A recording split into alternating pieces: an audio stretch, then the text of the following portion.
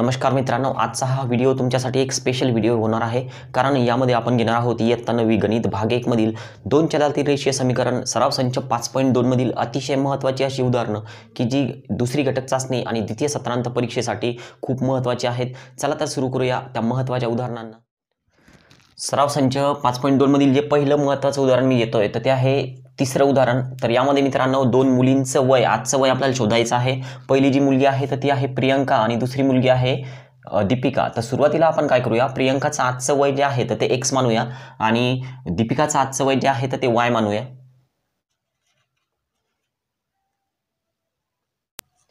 आता मित्रांनो उदाहरणामध्ये आहेत दोन अटी. सुरुवातीला आहे की यांच्या आजच्या वयाची बेरीज ही चौतीस वर्ष आहे. तर त्यामध्ये मध्ये आपण सुरुवातीला उदाहरणातील जी पहिली अट आहे तर ती घेऊया. उदाहरणातील अट या ठिकाणी मी एक लावतोय. क्रमांक एक पहिली अट की जी आहे या दोन्हींच्या आजच्या वयांची जी बेरीज आहे तर ती आहे चौतीस वर्ष. आणि याला आपण म्हणूया समीकरण क्रमांक एक. आता हे पहिलं समीकरण आपल्याला मिळालं. आता परत एक उदाहरणामध्ये अट आहे की जी प्रियंका आहे तर ती दीपिकापेक्षा सहा वर्षांनी मोठी आहे. तर त्या ठिकाणी आपण परत एक दुसरी अट मांडूया.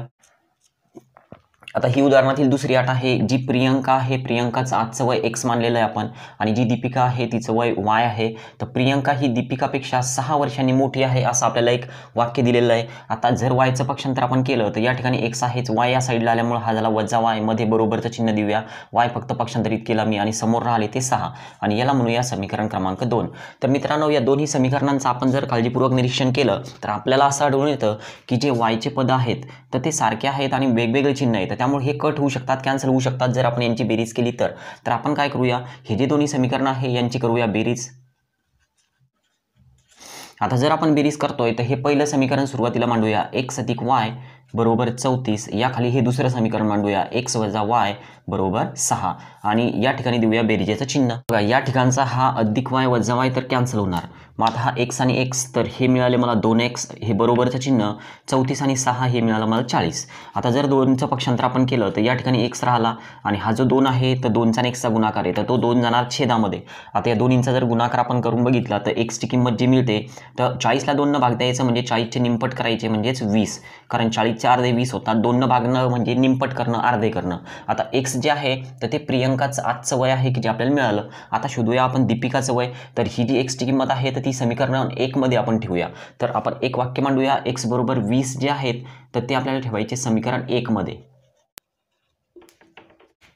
तर हे वाक्य तर मांडून झालं. याच्या खाली आपण हे समीकरण मांडूया. एक्स अधिक वाय बरोबर चौतीस. आता जर एक्सची किंमत आपण या ठिकाणी वीस टाकली तर अधिक वाय तर जसा तसा राहिला समोर आले चौतीस. आता वीसला त्या साईडला नेऊया. म्हणूनचं चिन्ह या ठिकाणी तर वायच्या ठिकाणी वाय राहिला. हे चौतीस सुद्धा आहेत. वीस त्या साईडला गेले. हे झाले वजा वीस. आता वाय बरोबर या दोन्हींची वजा बाकी आली चौदा. तर आपण दोन्हींची आजची वय शोधली. प्रियंकाचं आजचं वय एक्स बरोबर वीस आणि दीपिकाचं आजचं वय वाय बरोबर चौदा. म्हणजे प्रियंकाचं आजचं वय वीस आहे तर दीपिकाचं आजचं वय चौदा आहे.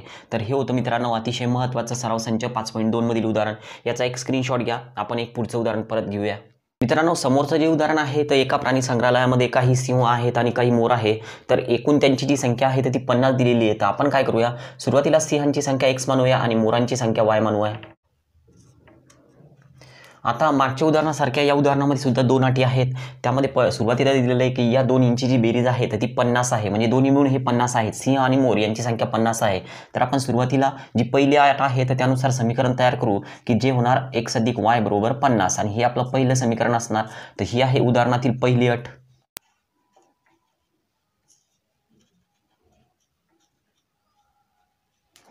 आता मित्रांनो दुसरी जी अट आहे तर त्यामध्ये दिलेलं आहे की या सिंहाचे पाय आणि मोराचे पाय तर एकूण पायांची संख्या आहे एकशे चाळीस. तर हे आपलं दुसरं समीकरण तयार होणार.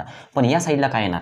तर सिंहाला असतात चार पाय त्यामुळे एक्सच्या सोबत आपण चार लावूया. आणि मोराला असतात दोन पाय तर त्यामुळे याच्यासोबत आपण दोन लावूया. या ठिकाणी दोन असायला पाहिजे हे झाले दोन वाय. कारण मोराला दोनच पाय असतात सिंहाला चार पाय असतात. तर ही होती उदाहरणातील दुसरी अट काळजीपूर्वक जर निरीक्षण केलं तर या ठिकाणी दोन आहेत पण या वायच्या सोबत दोन नाही. मग आपण काय करूया या वायच्या सोबत दोन आणण्यासाठी हे जे समीकरण आहे तर याला दोन न गुणू जर आपण या समीकरणाला दोन न गुणतोय तर आपल्याला जे तिसरं समीकरण मिळणार तर ते कसं मिळणार पहा? समीकरण जे एक आहे तर त्याला आपण समीकरण एकला गुणतोय कितीनं दोननं या ठिकाणी जर आपण दोननं गुणाकार केला तर काय काय मिळणार बघा? दोननं समजा आपण एक्सला गुणलं तर हे मिळतील दोन एक्स नंतर अधिकचं चिन्ह दोननं जर आपण वायला गुणलं तर हे होतील दोन वाय. आणि समोर जर दोननं पन्नासला गुणलं तर हे मिळतील आपल्याला शंभर. आणि हे आहे समीकरण क्रमांक तीन. आता मित्रांनो काय करायचं आहे बघा. याच दोन्ही समीकरणामध्ये जर वाय वाय पाहिले तर हे दोन वाय आहेत हे दोन वाय आहेत. यांची जर बेरीज केली तर चार वाय होईल. पण जर वजाबाकी केली आपण तर हे दोन वाय दोन वाय कॅन्सल होतील. तर आपण याच दोन्ही समीकरणांची करूया वजाबाकी. तर हे समीकरण आपण एकाखाली एक मांडूया.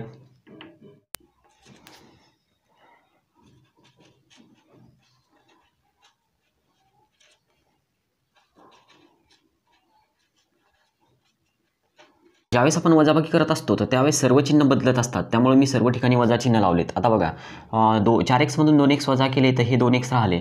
आणि हे दोन वाय हे दोन वाय एक दोन वाय वजा झाले आणि एक वरचे दोन वाय जे आहेत तर ते अधिक आहेत. तर त्यामुळे हे कॅन्सल करायचे. आता समोर जर आपण या दोन्हींची वजाबाकी केली तर आपल्याला मिळणार चाळीस. आता दोनला पक्षांतरित करूया. म्हणजे एक्स बरोबर होणार चाळीस छेदामध्ये दोन. परत आपल्याला चाळीसची निंपट करायची. मग त्यामुळं एक्सची जी किंमत आली तर ती आपल्याला मिळते वीस. आता एक्स म्हणजे नेमकं काय? तर एक्स म्हणजे सिंहांची संख्या. म्हणजे त्या प्राणी संग्रहालयामध्ये जे सिंह आहेत तर ते वीस आहेत. आता आपण मोरांची संख्या काढूया. तर हे जे वीस आहे तर ते हे एक नंबरमध्ये आपण ठेवू. तर एक वाक्य मांडू की एक्स बरोबर वीस समीकरण एकमध्ये आपण ठेवतोय. समीकरण एक परत जसं तसं मांडूया एक्स अधिक वाय बरोबर आहेत पन्नास. आता जी एक्सची किंमत आली म्हणजे सिंहाची संख्या जी आली ती वीस आली तर या ठिकाणी वीस मांडूया अधिक वाय बरोबर पन्नास. आता या वीसला पन्नासच्या सोबत नेऊया या ठिकाणी पन्नास आहेतच वीस जर त्या साईडला घेतली तर हे वजा वीस झाले. आणि या साईडला आहेत ते अधिक वाय म्हणजे फक्त वाय. आता वाय जर काढला आपण तर या दोन्हींची वजाबाकी येणार तीस. म्हणजेच मोरांची संख्या तीस आहे आणि सिंहांची संख्या जी आहे तर ती वीस आहे. तर हे होतं मित्रांनो या प्रश्नाचं उत्तर. आता हा एक महत्त्वाचा प्रश्न आहे. अजूनही महत्त्वाचे प्रश्न आहेत. पण त्या अगोदर जर चॅनलला नवीन असाल सबस्क्राईब केलेलं नसेल तर सबस्क्राईब करा. सोबत बेल आयकॉनवर क्लिक करा. कारण येणारे सर्व व्हिडिओ जे तुमच्यापर्यंत पोहोचले पाहिजेत. दोन चलातील रेषीय समीकरणं आपण घेतोय मित्रांनो आणि त्यामधील शाब्दिक उदाहरणं घेतोय. अतिशय महत्त्वाची द्वितीय घटक चाचणीसाठी आणि द्वितीय सत्रांत परीक्षेसाठी. आता यानंतरचं जे उदाहरण आहे तर ते खुर्च्या आणि टेबलचं उदाहरण आहे. आणि या उदाहरणामध्ये आपल्याला शोधायचं खुर्चीची किंमत आणि टेबलची किंमत. आता आपण काय करूया? जी एक खुर्ची आहे तर तिची किंमत एक्स मानूया आणि जो एक टेबल आहे तर त्याची किंमत वाय मानूया.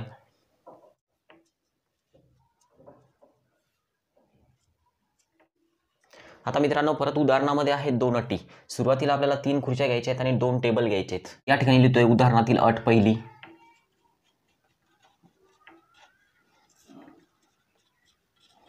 आता सुरुवातीला आपल्याला घ्यायच्या आहेत तीन खुर्च्या. तर त्यामुळं या खुर्च्यांच्या सोबत आपण तीन लावूया आणि सोबत घ्यायचे दोन टेबल आपण दोन लावूया आणि समोर या दोघां मिळून जे आपल्याला किंमत पडणार आहे तर ती आहे चार हजार पाचशे रुपये. तर हे आहे मित्रांनो समीकरण पहिलं. आता उदाहरणातील दुसरी जी अट आहे तर ती बघूया.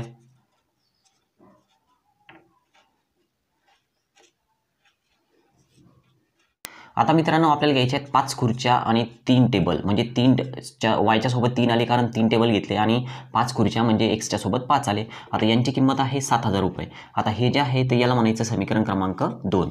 आता काय करूया आपण? तर या ठिकाणी तीन आहेत या ठिकाणी दोन आहेत. आपण याचे सहगुणक जर सारखे करायचा प्रयत्न केला तर सहा सहा करू शकतो. कारण तीनला जर दोननं गुणलं तर हे सहा होतील. तीन दोन्ही सहा. आणि याला जर तीननं गुणलं तर हे सुद्धा सहा होतील. बेत्रिका सहा. मग आपण काय करूया? या समीकरणाला गुणूया तीननं आणि याला गुणूया दोननं म्हणजे वाय चे सहगुणक हे सारखे होतील. आता जर आपण या समीकरणाला जर तीननं गुणलं तर आपल्याला काय मिळणार बघा? समीकरण हे जर आपण परत या ठिकाणी मांडलं तर आपल्याला काय मिळतील पहा? समीकरण एक जे आहे तर त्याला आपण तीननं गुणतोय. समीकरण एक गुणाकारामध्ये तीन. बघा या तीननं या तीनला गुणलं तीन त्रिक नऊ एक्स मिळाले. नंतर हे अधिकचं चिन्ह. या दोननं परत या तीनला गुणलं तर आपल्याला सहा वाय मिळाले बेत्रिका सहा. जर याला याला गुणलं तर एकशे पस्तीस गुणाकार होतो एकशे पंचेचाळीस आणि तीनचा आणि दोन शून्य. तर हे समीकरण आहे तिसरं समीकरण की जे मिळालं तीननं गुणून पहिल्या समीकरणाला. आता दुसऱ्या समीकरणाला गुणूया दोननं कारण या ठिकाणी आपल्याला सहा करायचे आहेत परत वाक्य मांडूया. समीकरण दोन जे आहे तर त्याला आपण गुणतोय दोननं आता जर दोननं गुणलं तर बे पंच दहा होणार यासोबत एक्स अधिक. आता जर यानं याला गुणलं तर तीन दोन्ही सहा वाय होणार. बरोबर. आता सात दोन्ही होणार चौदा. आणि याच्यावर येतील तीन शून्य. आणि हे आहे चौथं समीकरण. या दोन समीकरणांचं काळजीपूर्वक निरीक्षण तुम्हाला करायचं आहे या ठिकाणी सहा वाय आहेत या ठिकाणी सहा वाय आहेत. जर बेरीज केली तर बारा वाय होतील. पण जर वजाबाकी केली तर हे कॅन्सल होऊ शकतात. मग या दोन समीकरणांची आपण करूया वजाबाकी. दुसरं तिसरं आणि चौथं.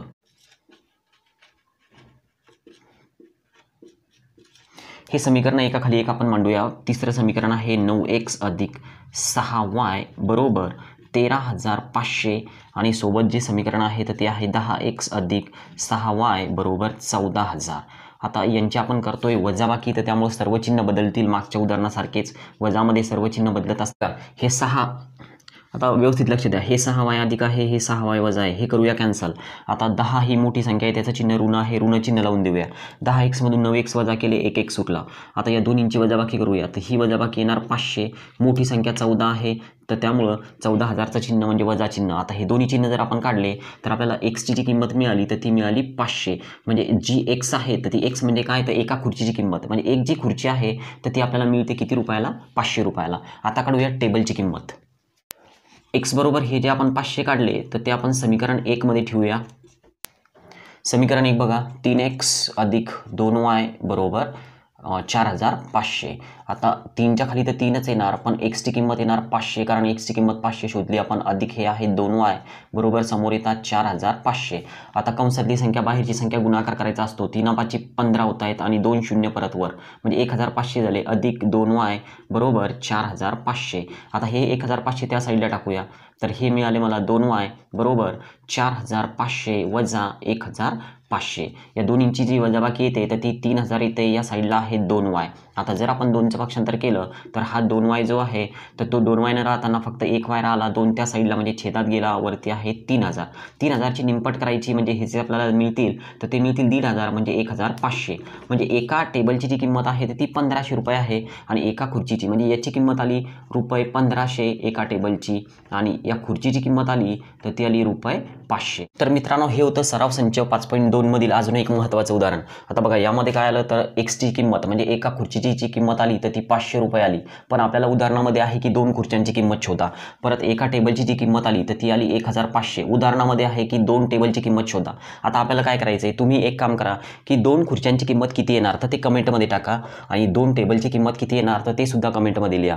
आता कारण उदाहरणामध्ये आहे की दोन खुर्च्यांची किंमत शोधा आणि दोन टेबलची किंमत शोधा. याचा एक स्क्रीनशॉट तुम्ही घेऊ शकता आणि कमेंटमध्ये तुम्ही नक्की लिहा की दोन खुर्च्या जर विकत घेतल्या तर किती रुपये लागतील आणि दोन टेबल जर विकत घेतल्या तर किती रुपये लागतील? तर हे होतं मित्रांनो दोन चलातील रेषीय समीकरणामधील अतिशय महत्त्वाची अशी शाब्दिक उदाहरणं. जर व्हिडिओ आवडला असेल तर व्हिडिओला लाईक करा मित्रांशी शेअर करा. सबस्क्राईब केलेलं नसेल तर सबस्क्राईब करा. सोबत बेल आयकॉनवर क्लिक करा.